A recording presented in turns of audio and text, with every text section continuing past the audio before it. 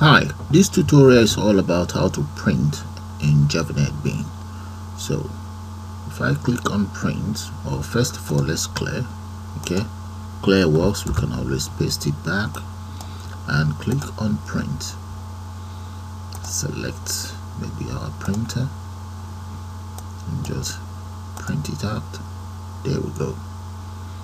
Or you can click on print and just save the content convert it to a PDF file. That's it. Click on print. On this and the system will prompt you to save.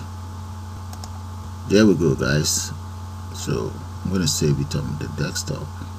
If you like you can change the name. Click on save. There. And let's open up the the file that we just saved. And right there that's the file that we've just saved from Java NetBean converted to a PDF file. Okay, so let's close this file. Close this desktop and there. So what I'm going to do now is I'm going to take you guys straight into Java NetBean and we put one of these together. So let's do that now guys. Hi and welcome to Java tutorial of how to create a print system. So I'm going to start by clicking on create new project and make sure you select Java Java application. Click on next. And right there I'm just going to call it print.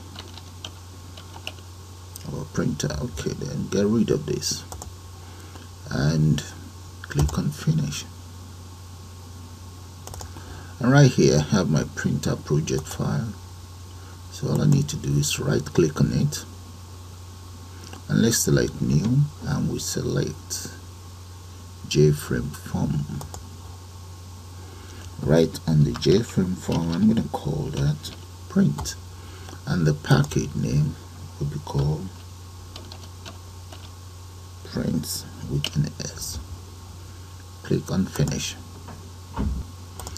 Now that the form is ready I'm going to right click on this very form and right here let me select set layout. And this set layout I'm to set it to none layer. That's it. Now let's select the property and change the file size. The font size let's change it to 1400 and I'm to make this 3 800 and get it centered there. And the next thing is let's come into the palette there and I will select text area paste text area there.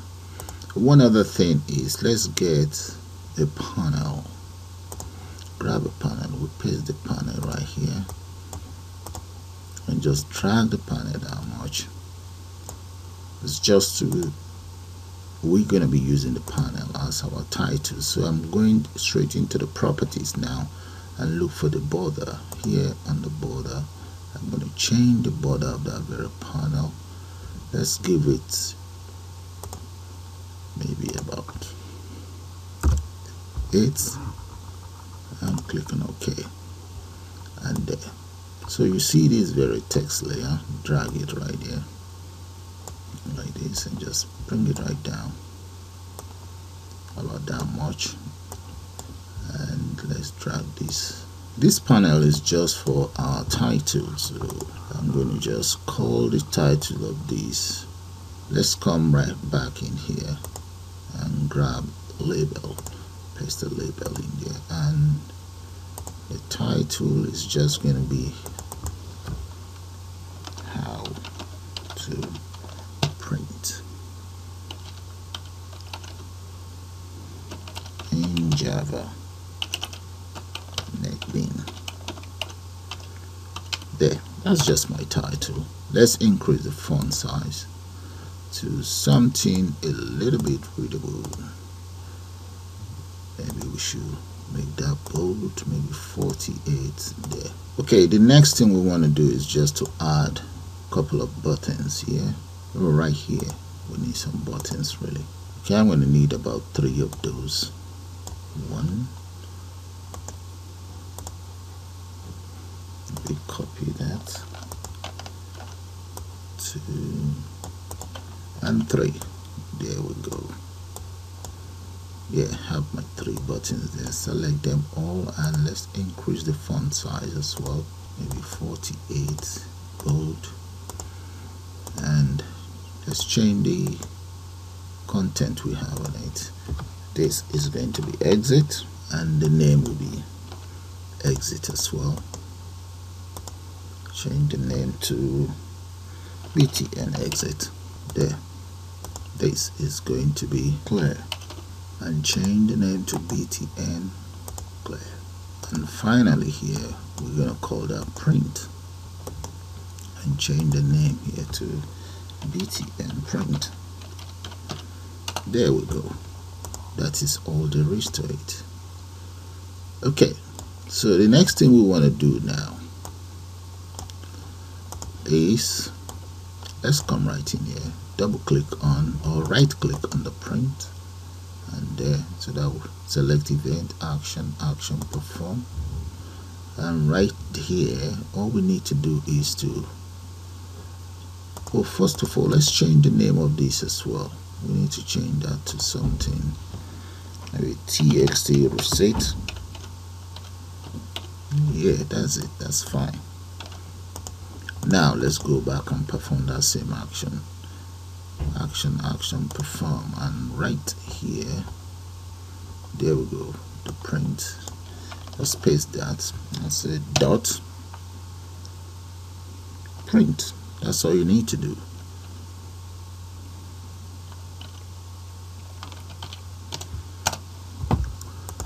now we have an error. So what we need to do is to enter try catch so click on that. And we're going to have to import some other stuff there. See the error is gone. That's the lines of code for the print. All you need to do is add that and that will be all. And right here the system has officially imported the print library. And that's it so to clear it all we then need to do is come right here right click action action perform and let's come to the clear that's it right here. Enter that dot set text. Let's just clear it there. And to exit the system we can just use a very simple method action action perform. So repeat the same thing. Right click and just come here. Action action perform. And right there those are the lines of code for the exit. And up here you must make sure you you actually create an object there to be called. Okay? And once you create that object the following library will be created. Alright and that's all there is to it. So let's try it out. Let's first of all compile it. Okay all we need to do now is to run the system but before I do that I'd like to do one more thing. Make sure this text area is selected and come straight to the property. And make sure this wrap style word is selected alright and that will be all actually. Line wrap. I think it's line wrap. Yeah. Let's run it now. But before we run it I'm gonna go inside Word document and just copy one or two things. Okay run it now. And first of all let's go into Word document and I'll just enter equals let's go for maybe 10 by 10 there and that should generate some characters for me. So I'm just gonna copy that. Uh, maybe just minimize it for now. And right in here paste that. There we go guys. And that is it. You can always clear let's paste it again. You can exit if you want. And to print just click on print. Right there okay select the printer if you have a printer. And then click on print. See printing in progress. There. Or you can even save it straight into PDF writer you see? If you click on print what will happen is it will be converted straight into a PDF format file right there the system is now asking you to give your document a name. So I'm just going to call it let's call it Java NetBean. Yeah Java NetBean printer. That's the name that I'm going to call it. Right I save that straight onto my desktop so that we can open it easily. Save and there we go. So let's go straight onto the desktop. And right here that's the desktop there. Double click on it double click on the PDF file. And let's see what we have on the PDF file itself. Right there guys. That is how you create your own printer using Java NetBeans that's the stuff that we saved in onto the PDF file inside Java NetBeans printer that we just created. So with that guys I'm going to call it the end of the tutorial. I suppose you all enjoyed bye for now